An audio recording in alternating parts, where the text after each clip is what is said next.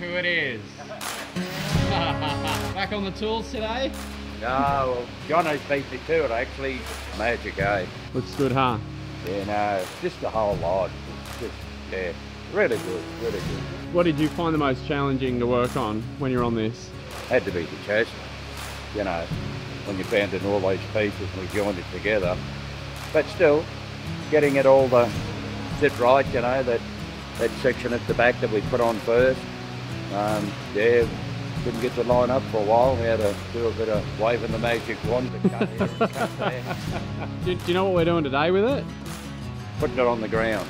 Yeah, putting it on the ground and just see how it all it all sits and probably just adjust the, the shockies if we have to. With the springs we got, we don't know how much weight they're going to carry or if they're going to go down enough. I will put that suspension of yours to the test. Yeah, it will.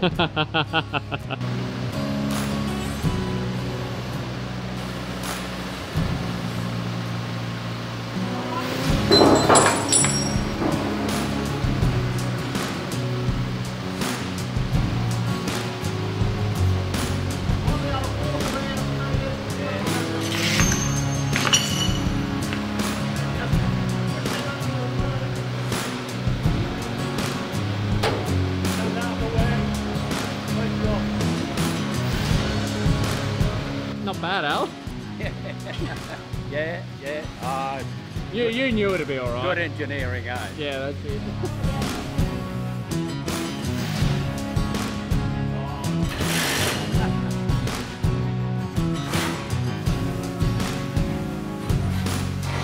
Have to be happy with that, Al. Oh, real happy, yep.